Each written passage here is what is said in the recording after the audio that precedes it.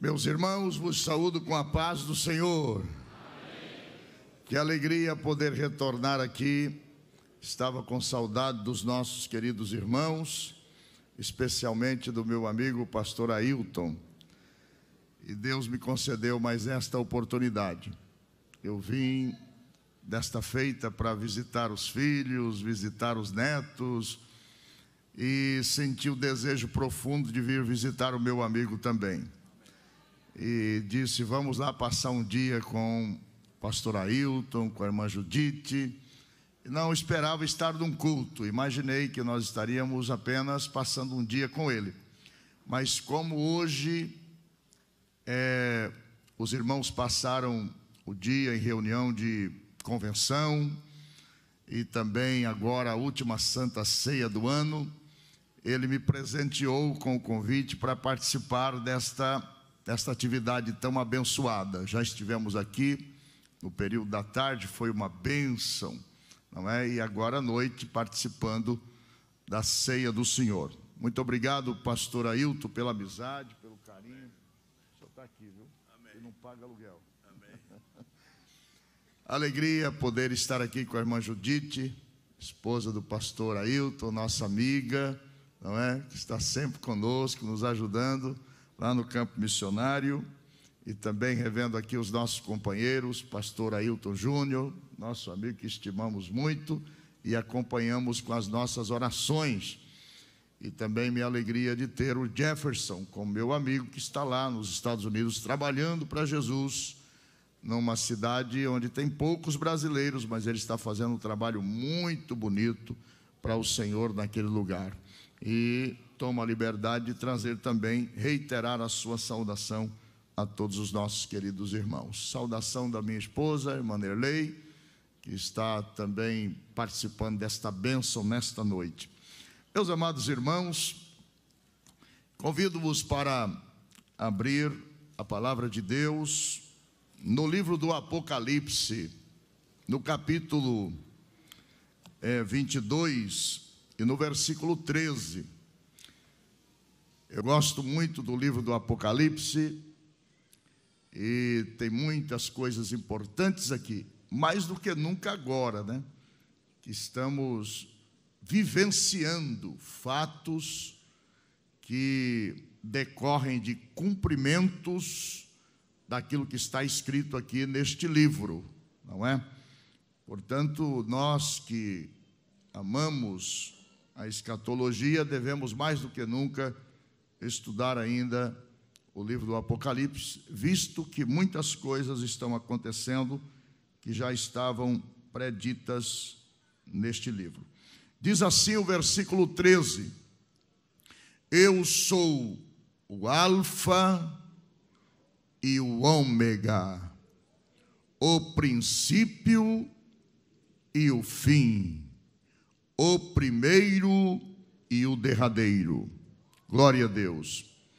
Meus amados irmãos, todos nós sabemos que quem está falando aqui é o próprio Senhor Jesus. Nós temos aqui sete títulos que Jesus se auto-intitula. Primeiro título, Eu Sou. O segundo título, Alfa. O terceiro título, Ômega o quarto título, princípio. O quinto título, fim. O sexto título, primeiro. O sétimo título, derradeiro. E aqui ele se identifica de forma espetacular. Gostaríamos de estudar cada um desses nomes que são dados a Jesus por ele próprio. E aqui nós vamos tentar estudar pelo menos três desses nomes, visto que o tempo não nos permite demorar muito, porque teríamos que ter um tempo mais, é, mais longo. Entretanto, hoje não vai ser possível, devido o tempo que é facultado para a ministração da palavra, visto que tem outras atividades ainda para fazermos.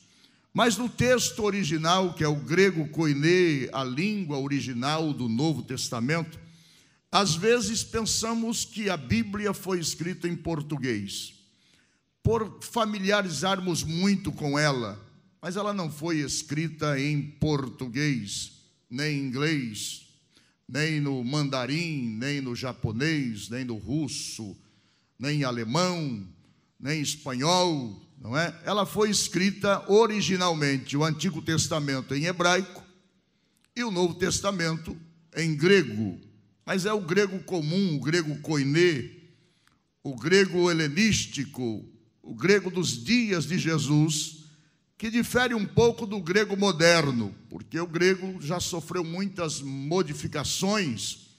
Nós temos, por exemplo, o grego koiné já foi a terceira formação do grego, e hoje estamos na sexta formação do grego. Então mudou muita coisa, mas no grego comum, que é o grego utilizado por Erasmus de Roterdã, e nós temos aqui a versão do texto Receptus de 1516 que diz assim: Ego emi tu alfa kai tu ômega arche kai telos o protos kai ro esratos. Então temos aqui os títulos de Jesus. E o primeiro título que aparece aqui, como se fosse uma repetição de títulos, mas na verdade não é uma mera repetição de títulos de forma ociosa ou projetada para dar uma plenitude retórica para a finalização deste livro. Entretanto, temos aqui nestes títulos um sentido de completude, de eternidade, de autoridade sabendo que nele originou todas as coisas, e todas as coisas também terão a sua consumação na pessoa bendita de Jesus Cristo. No versículo, nós temos aqui os substantivos mais importantes do vocabulário grego e também os adjetivos mais importantes do vocabulário grego. Portanto, ele é tanto os substantivos desse versículo como os seus adjetivos. Aqui nós temos o primeiro título dado a Jesus: Eu sou. Eu sou é o primeiro título que ele se auto-intitula. E no grego é ego eimi. Ego é ego, de onde vem a palavra egoísmo. Entretanto, no, no sentido pejorativo. Mas no caso de Jesus, ele pode dizer ego, porque a palavra ego no grego significa a pessoa é, que pode servir de referência moral para todas as demais. Então, ego é a pessoa que serve de referência moral para todas as demais. E a única pessoa que serve como referência moral para a nossa vida é a pessoa de Jesus. É por isso que o escritor aos Hebreus diz que nós devemos olhar firmemente para Jesus Cristo, autor e consumador da nossa fé. Ele serve de referência moral para todos nós.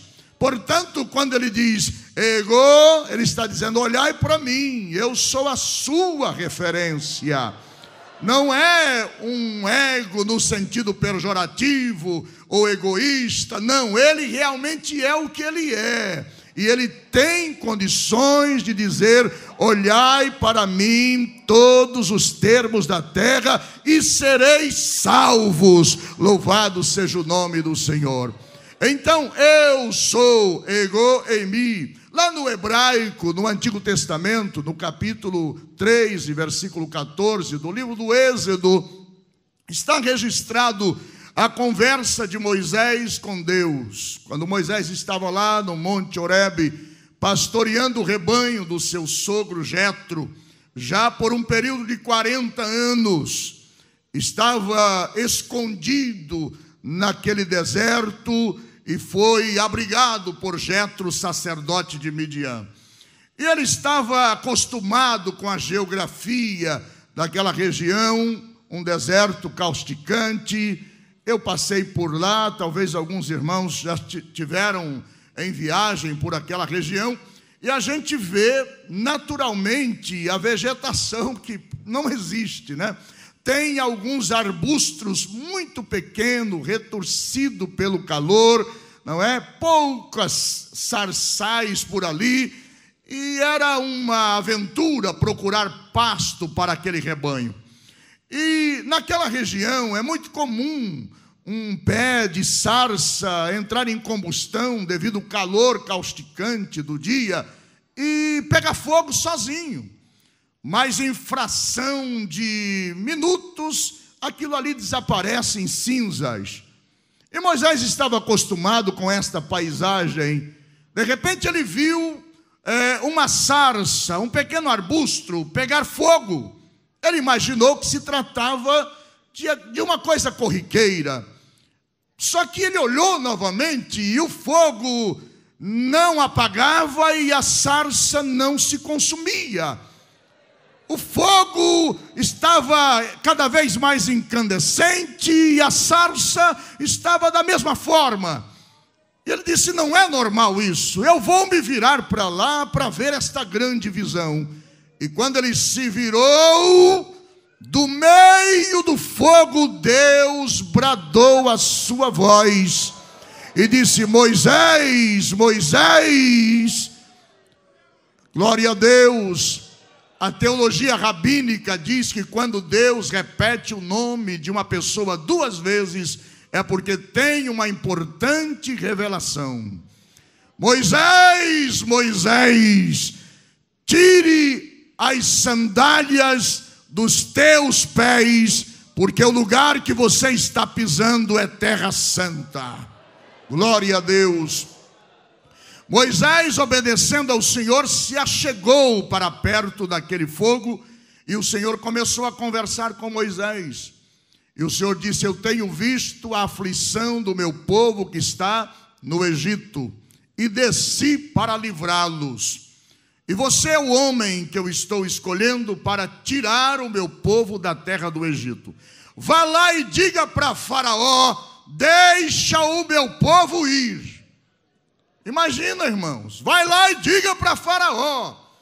Faraó era uma divindade, praticamente, não é? A coroa de Faraó tinha uma serpente é, na sua fronte, não é? E ele era considerado um deus, uma divindade. Como é que aquele pastor de ovelhas ia chegar diante da maior autoridade da terra na época, que era o Faraó, e simplesmente dizer: O Senhor diz, deixa o meu povo ir. Não é? Era mais de 3 milhões de hebreus que viviam naquela região e trabalhavam no serviço pesado. Todos os egípcios utilizavam da mão de obra dos hebreus. Os hebreus era a máquina de trabalho do Egito. Sem os hebreus, o Egito ia parar. Faraó não ia dar atenção para Moisés, talvez nem recebê-lo.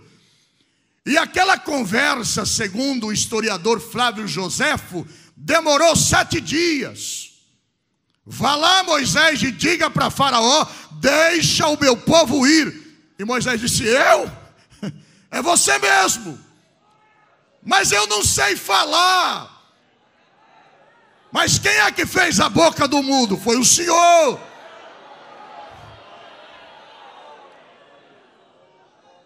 Glória a Deus. E depois de muita conversa, Moisés disse: Senhor, em nome de quem que eu vou lá? Se Faraó perguntar para mim, em nome de quem você está aqui? Qual é o nome que eu vou dar? Os irmãos sabem que o nome de uma autoridade pode abrir portas e pode fechar portas também, não é? Mas um bom nome abre portas. Eu estou aqui em nome de fulano de tal e tal e tal. Abre portas. E dependendo da pessoa, fecha a porta. Aí o Senhor disse para Moisés: Moisés, diga a Faraó que Errie, Asher Errie, te enviou lá.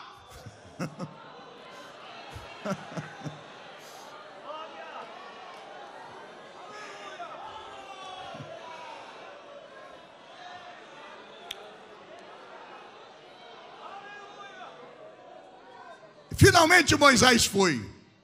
Encontrou o seu irmão Arão, numa época que não tinha GPS, que não tinha WhatsApp, não tinha telefone, não tinha meios de comunicação. Ele estava no deserto de Midian, Arão estava lá no Egito.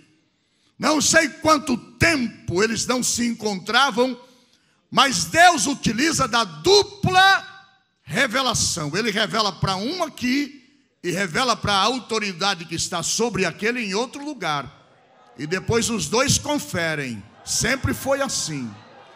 Sempre foi assim. Deus falou com você, ele vai falar com a autoridade que está sobre você. Ele tira o sono do rei. Ele trabalha. Ele trabalha. Ele não precisa marcar audiência. Ele trabalha. Uma vez o irmão perguntou, pastor, como é que eu faço para conseguir o visto para ir nos Estados Unidos? Eu disse, chegue lá com cara de anjo. e como é que eu faço para chegar com cara de anjo lá? Jejue pelo menos uma semana. e ore a Deus e vá. Glória a Deus. Aleluia. Deus trabalha.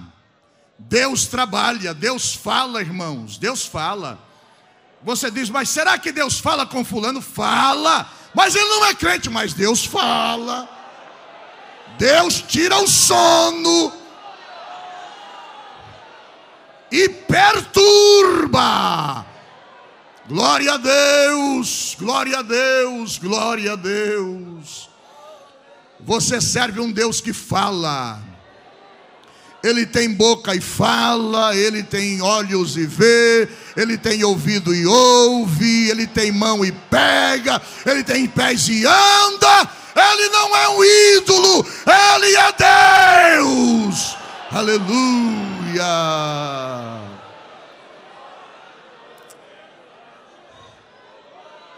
Aleluia. E o Senhor falou com Moisés, eu penso, olha, você vai estar em tal lugar, traçou ali um mapa, e eu vou lá falar com Arão para ele te encontrar ali. E falou com Arão: Arão, você vai em tal lugar, você vai encontrar Moisés lá. E os dois se encontraram, e os dois foram para falar com Faraó. Se marcar uma audiência para falar com o presidente da República já não é fácil, devido às suas ocupações, não é? com autoridade civil, não é fácil. Agora imagine marcar um horário para falar com Faraó. E um hebreu ainda. Pouco provável. Mas eles foram e conseguiram chegar perante Faraó. E Moisés disse: Deus está dizendo a você, Faraó, deixa o meu povo ir. E Faraó pergunta: como é o nome desse Deus? Ele disse: Erie Asher Erie. A tradição diz que quando ele disse Erie Asher Erie, Faraó caiu do trono, literalmente. Levantou assustado, chamou os sábios do Egito e disse: Vá procurar nos catálogos dos deuses do Egito, onde está esse Erie Asher Erie. Procuraram, não encontraram. E Faraó disse: O que significa Riá, Xarehié? E eles disseram: Excelência. Eguié, Axereguié significa é o sol que sempre fui, é o sol que sempre serei. Oh, aleluia, aleluia. Você pode glorificar a Deus. Este é o nome do seu Deus. Ele é o que ele sempre foi e ele é o que ele sempre será. Aleluia.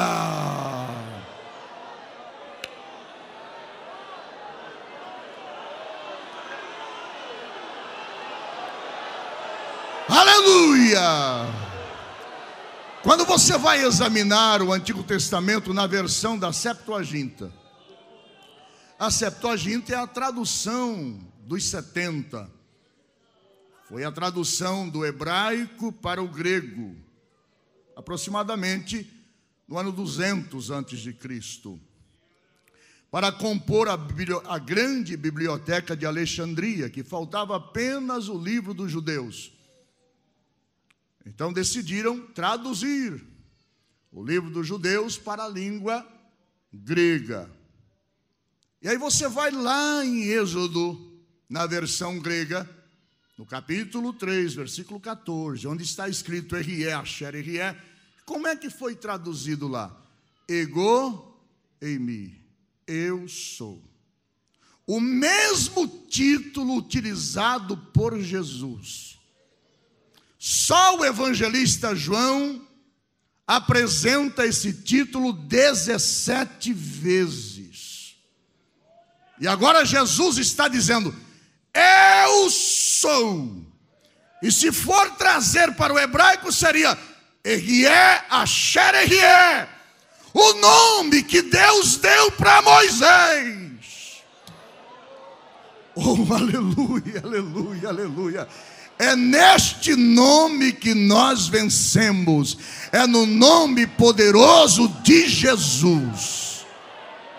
Glória a Deus, glória a Deus, glória a Deus, glória a Deus. Jesus disse, dentre tantas vezes que ele se identificou com eu sou, ele disse: Eu sou a porta. Porta no grego é tira. Ego em mim, tira. Eu sou a porta. Nós sabemos que no templo construído por Herodes o Grande, o templo magnífico de Jerusalém, que foi ampliado, inclusive, com aproximadamente dois côvados mais do que o templo de Salomão, que foi destruído por Nabucodonosor e depois foi reconstruído por Zorobabel e agora foi ampliado por Herodes o Grande, que ocupava uma área de 15 hectares aproximadamente. Um magnífico templo. Bem na frente do templo, em Jerusalém, construído por Herodes, tinha uma porta chamada Porta Formosa. Você certamente já leu em Atos dos Apóstolos sobre a Porta Formosa. Essa porta media 22 metros de altura. Ela foi doada por um judeu de Alexandria chamado Nicanor. Por isso é chamada de Porta de Nicanor. Toda de bronze. 18 metros de largura. 20 homens era utilizado para abrir e fechar essa porta. Imagine uma porta Aqui de pé direito deve ter mais ou menos uns 12 metros, pastor. Não, não tem 12? Deve ter mais ou menos por aí, não é? 9 metros, 9 metros. E parece que tem mais, né? Agora imagina 22 metros. Aqui tem 9. E essa porta formosa tinha 22 metros de altura. E Atos dos Apóstolos registra Lucas que ali naquela porta tinha um homem pedindo esmolas. Ele tinha quase 40 anos de idade. Eu não sei por quantos anos ele pedia esmolas, num lugar privilegiado. Esta porta ficava bem na entrada do átrio das mulheres, onde fazia as reuniões de oração. E aquele homem, todos os dias, ia para aquele lugar, certamente conduzido pelos seus parentes, deixado ali para pedir esmolas. Era três horas da tarde, o horário da oração no templo. Dois servos de Deus subiram o primeiro lance de escadaria para chegar até o átrio das mulheres, e aquele homem já era certamente conhecido por todos e como era o horário de oração, ele não esperava muita gente. Porque normalmente no horário da oração vem pouca gente. Mas os dois servos de Deus foram para a hora da oração. E aquele homem já desanimado, cabeça baixa, fez um pedido, sem olhar para aqueles dois homens que entravam. certamente por causa dos seus trajes simples, não esperava muita coisa, mas ele disse: Dai-me uma esmola.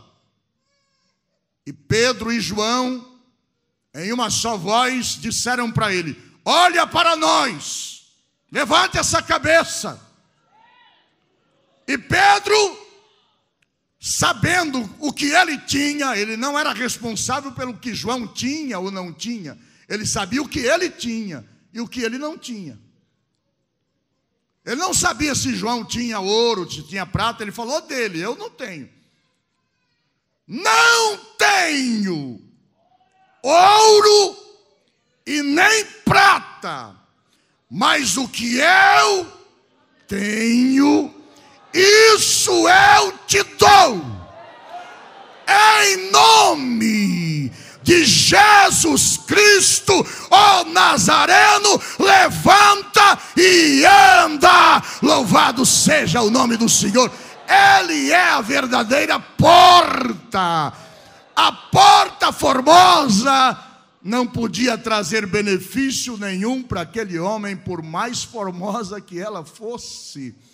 Ele ficava na porta e nunca conseguiu entrar mas o dia que ele encontrou com a verdadeira porta, ego e me tira. Glória a Deus, em nome da verdadeira porta, eu te digo: levanta e anda. E tomou o homem pela mão, e o homem saltou, e a Bíblia diz que ele entrou.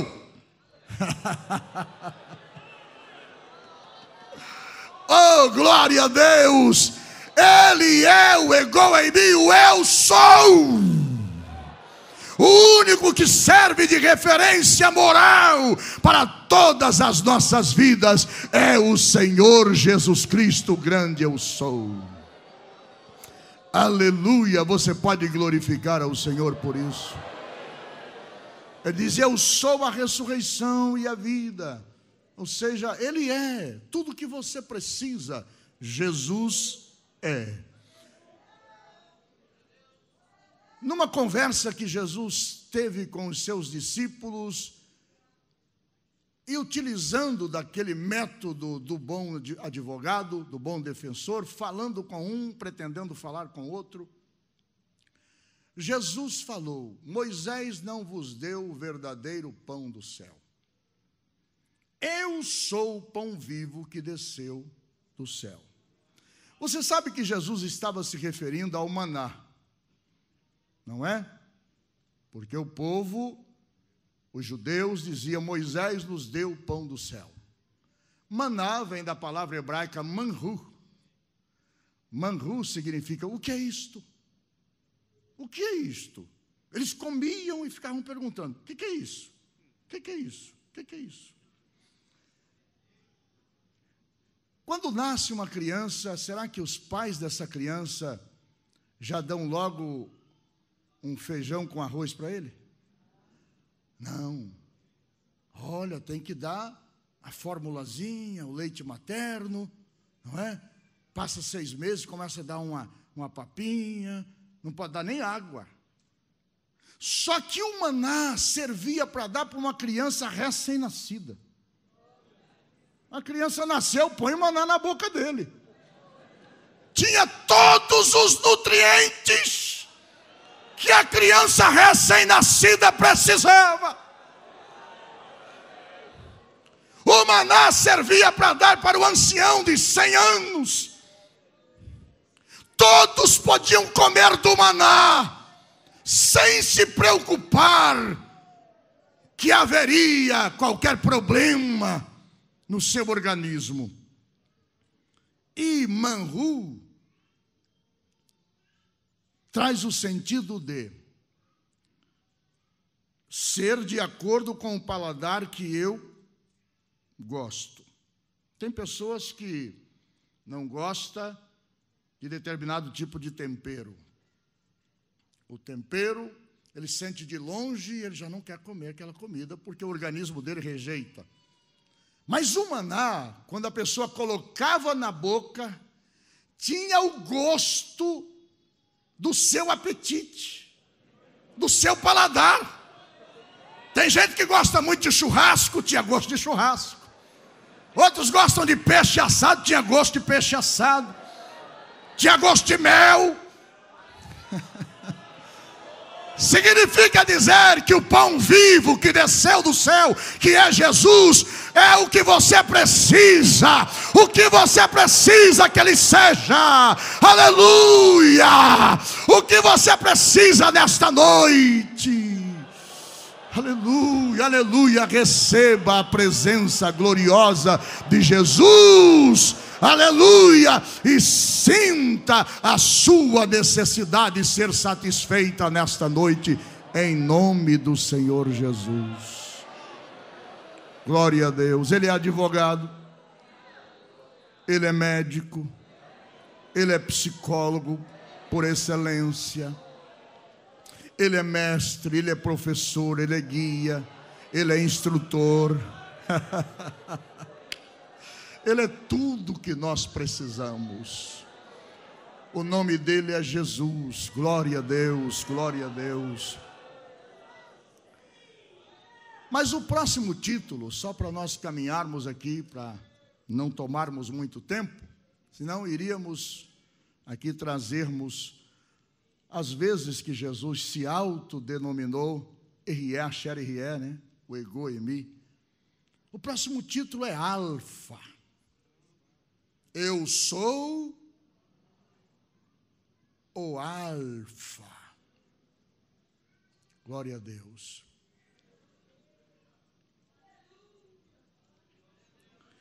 Alfa é a primeira letra do alfabeto grego.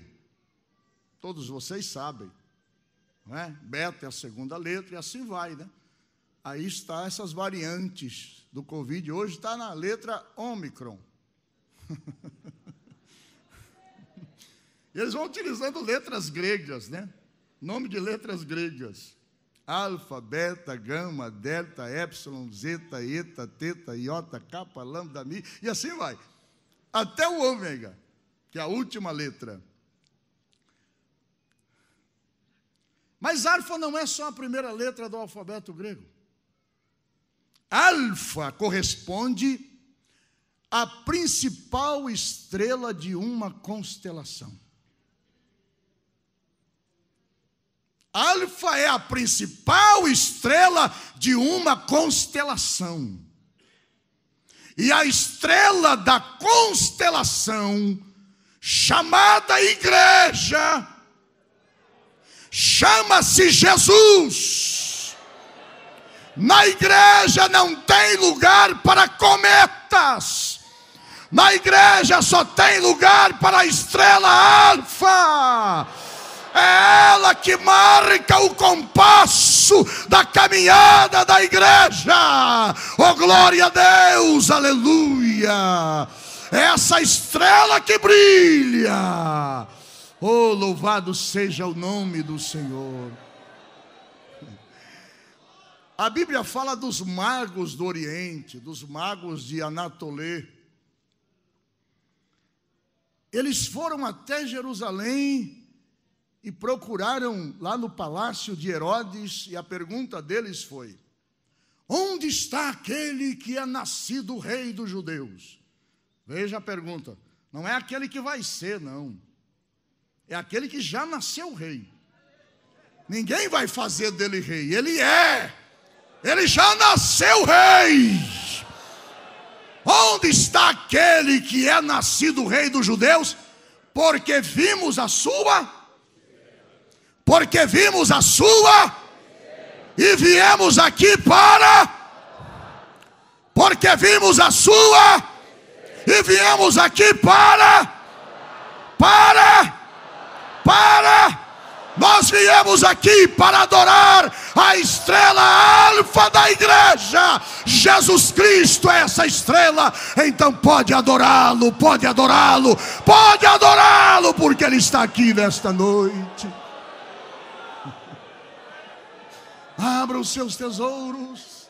Abra o seu coração, abra a sua boca e adore a estrela alfa chamada Jesus, Ele está aqui. Aleluia, aleluia, aleluia, aleluia, aleluia. Glória a Deus. Mas Alfa também é um macho, principal macho de uma prole. É um macho alfa. Quando a prole tem um macho alfa, tem que ser alfa. Se a prole tem um macho alfa, a prole sabe que não vai faltar proteção. Ela sabe que ele garante a proteção da família. Ele se importa com a segurança da família. O macho alfa entra na frente e defende a reputação da sua casa. E o macho alfa da igreja é Jesus. Ele defende a sua igreja.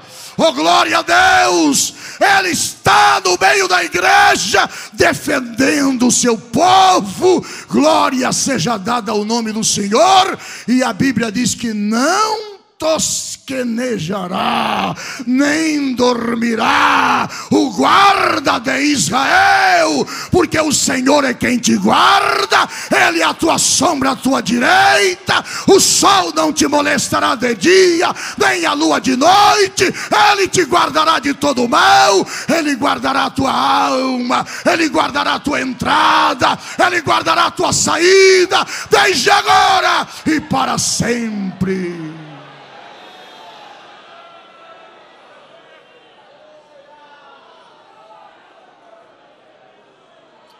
É por isso que a igreja segue caminhando.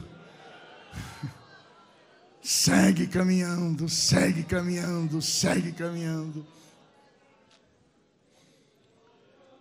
Mas uma prole que tem um macho alfa, sabe que não vai faltar procriação. Vai crescer a família. O macho alfa está ali. E a família vai crescer. E os bebezinhos vão chorar. Vai ter berçário.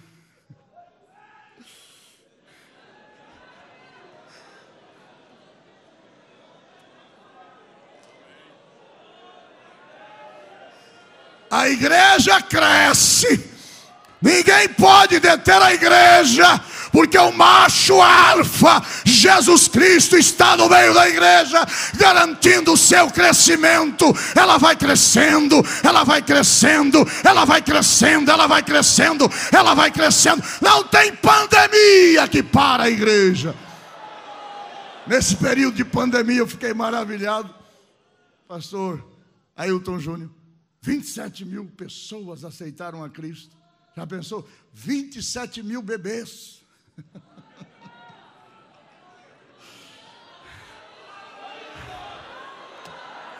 Você pode glorificar a Jesus.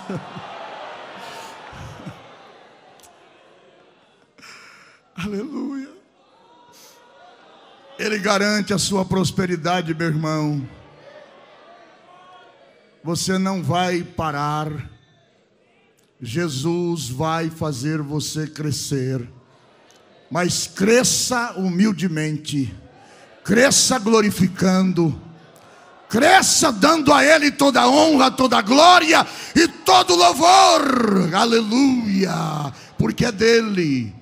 Eu sempre me refiro ao apóstolo Paulo quando estava em Sencreia, partindo para Jerusalém, de repente veio a inspiração, porque Paulo não escrevia suas cartas deitado numa rede. E nem tampouco eu vou fazer um retiro, ficar ali para me inspirar. Não. De acordo com a necessidade, ele ficava afoito e vinha a inspiração, e ele chamava um amanuense e dizia: Pega aí uma lapiseira, pega tinta, pega um papiro, escreve aí.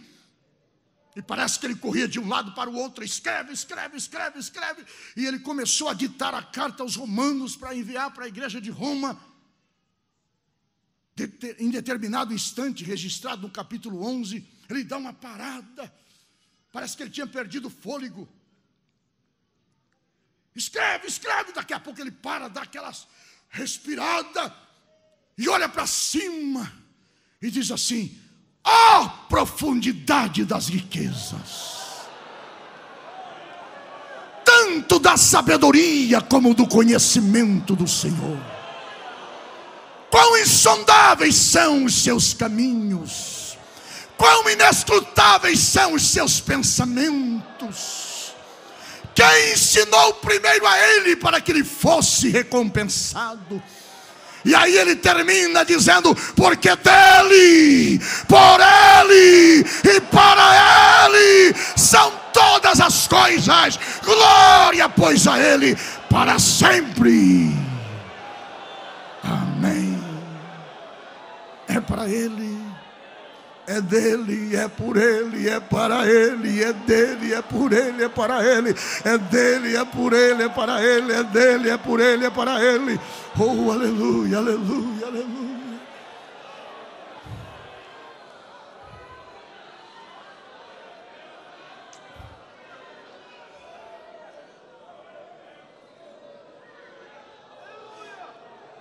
Alfa.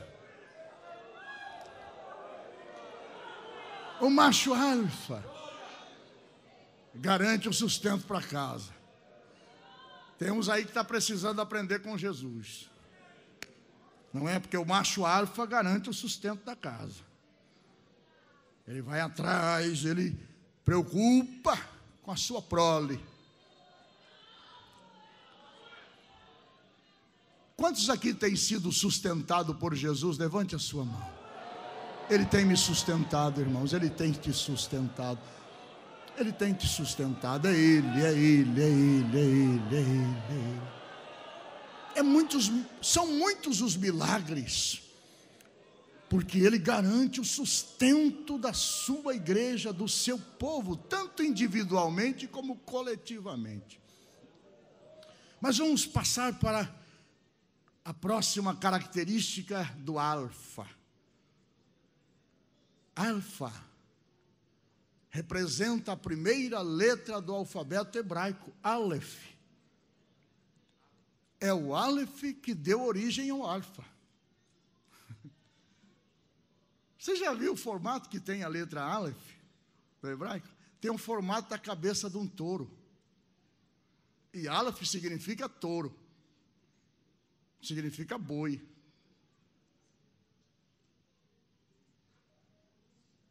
Jesus é o boi ou não? É. Ele é o boi. Ele é o boi. Lá no Apocalipse, capítulo 4, versículo 7, João teve uma visão e disse assim: no meio do trono e ao redor do trono, quatro animais. Dentre esses quatro animais, o primeiro o leão, depois o boi. O caráter de Cristo. Os quatro evangelhos são representados por quatro animais que fala de Jesus. O primeiro, leão, Mateus. O segundo, boi, Marcos. Os acampamentos de Israel em volta do tabernáculo, na frente, o acampamento de Judá, com Zebulão e Sacar, com a bandeira de Judá, com o leão desenhado na frente. Atrás, o acampamento de Efraim, com Manassés e Benjamim, e na bandeira, o boi. Na frente, ele é o leão da tribo de Judá, mas na retaguarda ele é o boi. Ele é o boi. Ele é o boi, ninguém vai te pegar de surpresa. Pode ficar tranquilo. Lá estará o boi. Aleluia.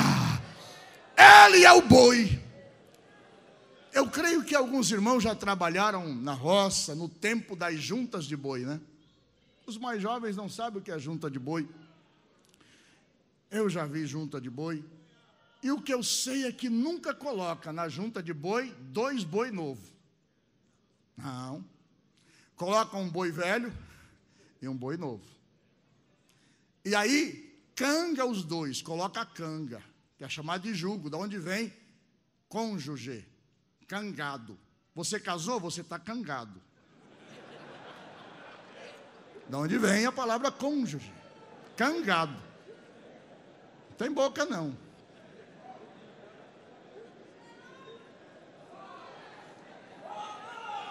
Agora você tem que ir.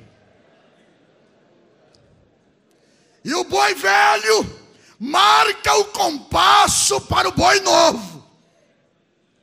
E esse boi disse assim: Tomai sobre vós o meu jugo. Um dia Jesus colocou o jugo dele no meu pescoço, e logo no início tinha hora que eu não queria andar e ele me arrastava. Tinha hora que eu dizia: Não, eu não vou nesse passo. Ele dizia: É por aqui que você vai. Eu marco o compasso da sua caminhada. Sou eu que determino por onde devemos ir. E o boi velho vai andando e nós vamos acompanhando, mesmo na barra, mas vamos acompanhando. Até aprender Glória a Deus, glória a Deus. Ele é o boi que marca o compasso da nossa vida. Vamos pisando onde ele pisa, vamos caminhando onde ele caminha, vamos nos rendendo ao seu profissionalismo, porque ele sabe o que está fazendo. Glória a Deus. Tomai sobre vós o meu jugo, aprendei de mim que sou manso e humilde de coração, e encontrareis descanso para as vossas almas, porque o meu fardo é leve e o meu jugo é suave. Oh, glória a Deus, glória a Deus, glória a Deus. Alfa representa Aleph, o boi. Você entendeu por que Jesus disse que ele é o Alfa? Faltou algumas coisas aqui que eu não quero complementar por causa do tempo. Mas eu vou parar no próximo título.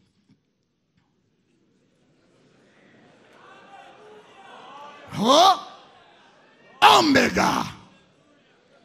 Artigo definido masculino nominativo. Rô. Ômega. Mas só que essa palavra ômega, o sentido dela é o fim de qualquer tipo de catástrofe. O fim de qualquer tipo de catástrofe. Por isso ele é o alfa e é o ômega, a última letra do alfabeto grego. Parece uma ferradurazinha, não é? E o minúsculo parece um W. Ômega. Ômega. O artigo definido masculino, no caso nominativo. O mega. o mega. Sabe o que é mega? Sabe? Isso é uma linguagem da cibernética. Há pouco tempo atrás ninguém falava em mega, mega. Hoje todo mundo já sabe o que é mega. As crianças já nascem perguntando quantos mega tem, quantos mega tem.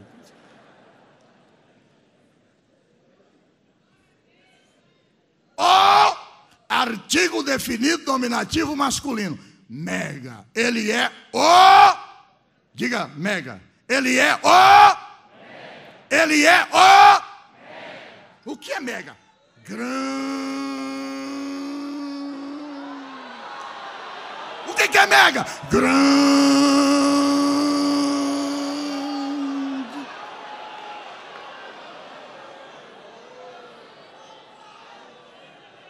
Qual que é o tamanho dele, pastor José Lopes? Eu não sei, mas eu sei o tamanho da mão dele. Eu sei o tamanho da mão dele. Isaías escreveu no capítulo 48, versículo 13, Isaías falou sobre o tamanho da mão dele. Isaías disse assim: Também a minha mão fundou a terra, e a minha mão direita mediu os céus. Aqui no Brasil a gente mede com metro, com milímetro, com centímetro, com quilômetros. Lá nos Estados Unidos é yarda, incha, milha. Em outros lugares tem outra referência de medir. Mas no céu se mede com ano-luz, não é? Um ano-luz, dois anos-luz, três anos-luz. Sabe, sabe qual é o tamanho de um ano-luz? 9 trilhões, ponto 5 quilômetros. 9 trilhões, ponto 5 quilômetros. Daqui até o Sol tem 150 milhões de quilômetros que corresponde a 10 minutos de ano-luz.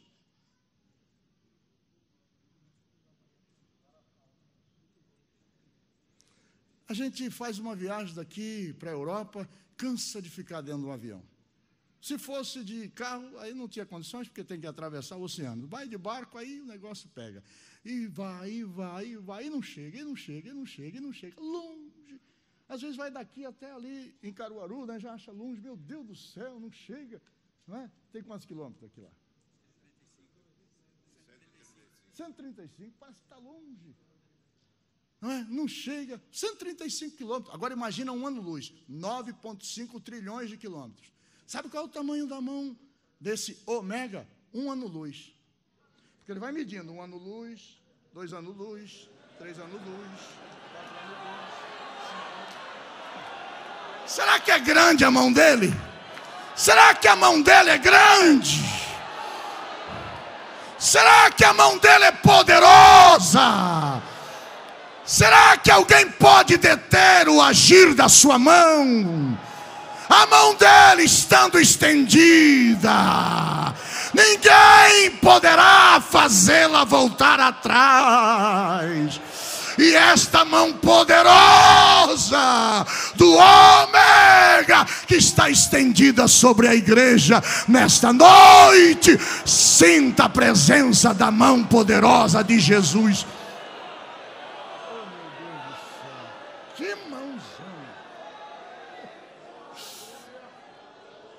Aí nós temos que cantar aquele hino. Quando ele estendeu a sua mão para mim.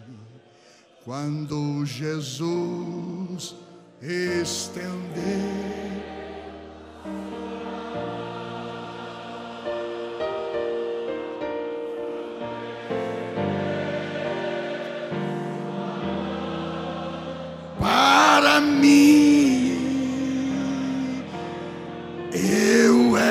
agora?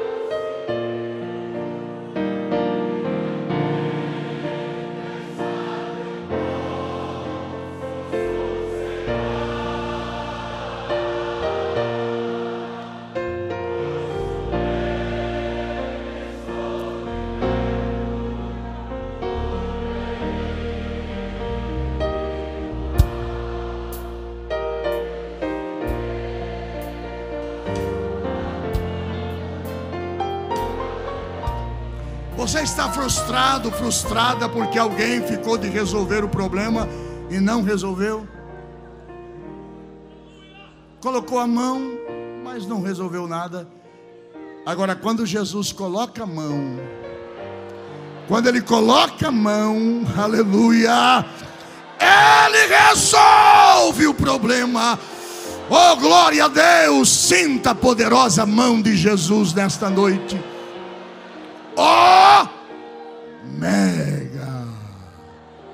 Deus abençoe, pastor Ailton.